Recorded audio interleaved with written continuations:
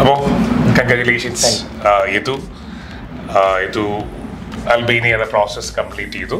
ഏകദേശം ഏഴ് മാസമായി നമ്മുടെ പ്രോസസ്സിലൂടെ കടന്നു പോകുമായിരുന്നു അങ്ങനെ അൽബേനിയയുടെ ബോട്ട് പോളിഷ് എന്ന കാറ്റഗറിയിൽ അൽബേനിയയിലേക്ക് പോവാണ്.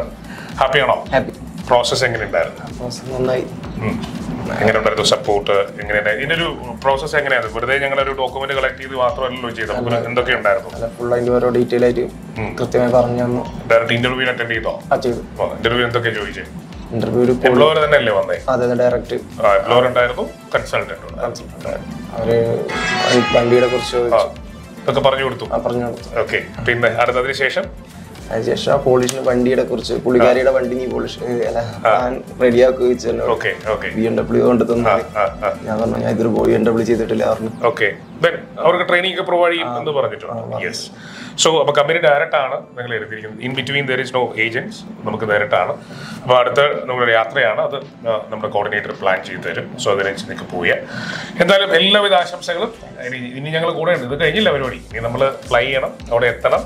ലാൻഡ് ചെയ്യണം. ആ കമ്പനി ജോയിൻ ചെയ്യണം. ഈ സമയത്തൊക്കെ ഞങ്ങളുടെ ഒരു കോർഡിനേഷൻ ഉണ്ടാവും. അതേപോലെ നിങ്ങളുടെ ഫ്ലൈറ്റ് ടിക്കറ്റ് അവിടുന്ന് റീഇംപ്രസ് ചെയ്ത് കിട്ടും. നിങ്ങളുടെ ഒരു ത്രീ മന്ത്സ് പ്രൊബേഷൻ പീരീഡിന് ശേഷം അതുകൊണ്ടാവും മൊത്തത്തിൽ ഹാപ്പി ആണോ? ഹാപ്പി ആണ്. ഇതിനു മുമ്പ് എന്തെങ്കിലും ഈ യൂറോ- യൂറോപ്പിലേക്ക് പോരാ ശ്രമം നടത്തിയിട്ടുണ്ടോ? എന്നിട്ട്? എന്ത് പറ്റി? പോകുന്നില്ലെന്ന് വെച്ചോ? ഓ പ്രോസസ് നടന്നില്ല. ഓക്കെ സോ അങ്ങനെ ആംസ്റ്ററിലെത്തി പ്രോസസ് നമ്മൾ കംപ്ലീറ്റ് ചെയ്ത് വളരെ സന്തോഷപൂർവം ഈ വിസ ഞങ്ങളുടെ ഒഫീഷ്യലി ഹാൻഡ് ഓവർ ചെയ്യാം ഓക്കെ